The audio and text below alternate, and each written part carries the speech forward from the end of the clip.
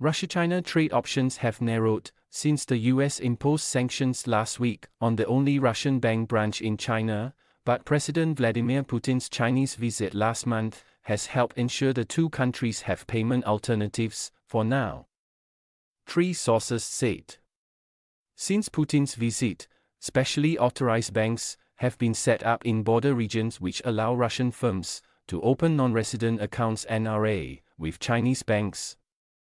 A step that has become more important since VTB's Shanghai branch was targeted with sanctions, they told Reuters. Trade between Russia and China ballooned to a record $240 billion in 2023. Maintaining the flow of income and goods, which is crucial to the Kremlin, depends on ensuring smooth payments. The workaround, which involves smaller, regional banks that can for the time being fly below the U.S. sanctions radar, shows how Moscow and Beijing are having to take increasingly complex steps to ensure bilateral payments continue to be made, but at the same time potentially exposing some Chinese financial firms to U.S. sanctions as they look to circumvent restrictions. Using banks in border regions makes it easier for go betweens working on behalf of Russian companies to flit between them. The scheme, involving small banks with limited or no business with countries which Russia considers unfriendly, also reduces the potential fallout for China. However, the window for them to carry out payments for Russian companies may be narrowing. A senior U.S. Treasury official said this month it is working to identify smaller banks with weaker compliance departments that are still helping to process transactions that aid Russia's military output. Trade with Beijing has become more important to Moscow since it sent its army into Ukraine in February 2022. Russian banks were subsequently blocked from the SWIFT global payments system. While many Western countries and companies severed ties with Russia. After Putin's visit, banks have appeared in one of China's provinces that are opening NRA accounts for Russian companies on Chinese territory. Said one banking source, who declined to disclose names due to sanctions risks. Only a handful of banks, located near the border in the northeast, still work with Russia, a second banking source said. We are not even talking about large and medium sized banks today, the person said. None of them work with Russia. This is the problem that we must really recognize.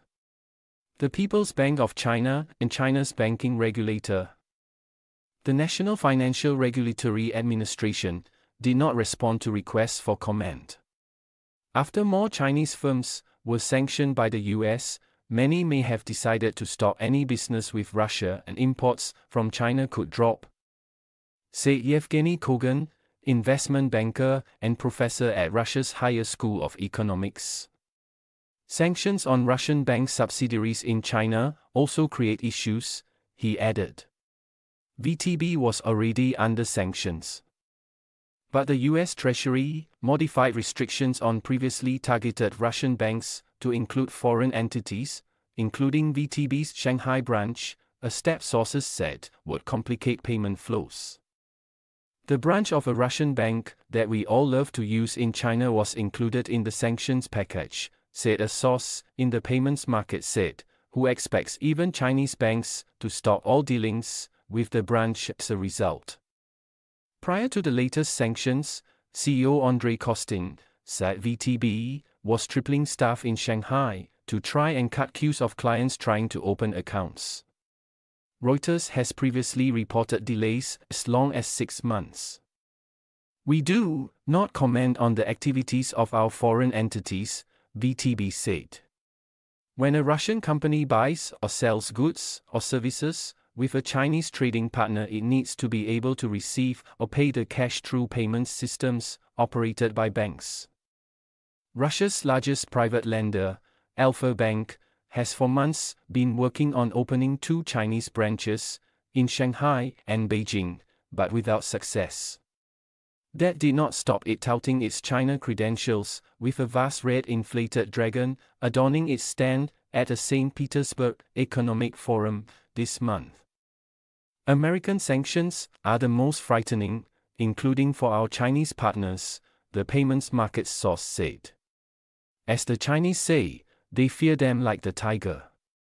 The threat of secondary sanctions, which could cut institutions off from dollar access, has spooked Chinese banks, who do not want to lose access to global markets, the person said, even if there is lucrative trade to be done with Russia. For Russia, payment issues hurt export revenues, disrupt supply chains, and raise import prices, the central bank has said, while its oil firms face months long payment delays. Compared to US and EU markets, it has limited pull. No one in China is ready to fall under secondary sanctions and lose the global market just because of Russia, the payments market source said. Neither manufacturing companies nor financial structures, including banks. The second banking source said non sanctioned Russian banks were still acceptable to Chinese partners. But US restrictions are a killer blow, with even specially authorized Chinese banks halting settlements. Russian companies can now either open an NRA account with a Chinese bank or create a Chinese subsidiary and open accounts domestically. The person said.